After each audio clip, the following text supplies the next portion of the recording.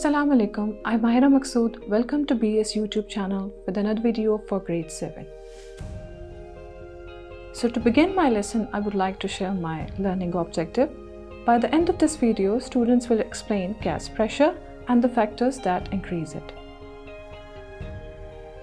Let me share with you with a few questions which raise in mind what is particle model of matter and gas pressure.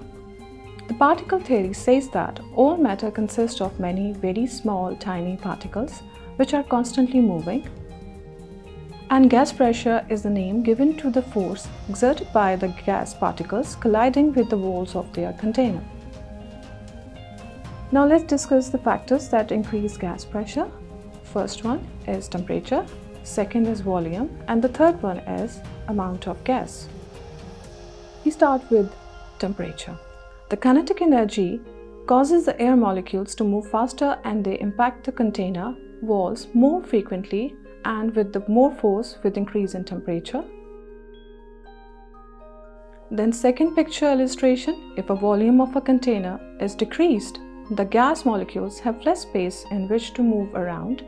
As a result, they will strike the walls of the container more often and the pressure increases. The last factor that is, if more and more air is added to the rigid container, it may eventually burst. Reducing the number of molecules in a rigid container has the opposite effect and that pressure decreases. Now it's time to investigate the relationship between temperature and gas pressure. So, what do we need for this experiment? We need hot water, a ping pong ball, a spoon, and a glass. Firstly, we dent the ball, then we heat the water, we pour water into the glass, and finally we put the ping pong ball on the water and we move it with the spoon so the entire ball heats up. Now the ball is not dented.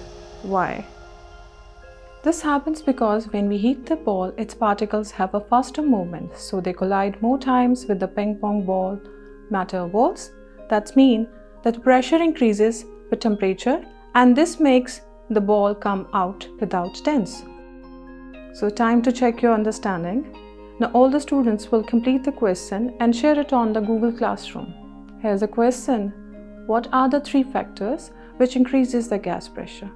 I hope you like the video. Allah Hafiz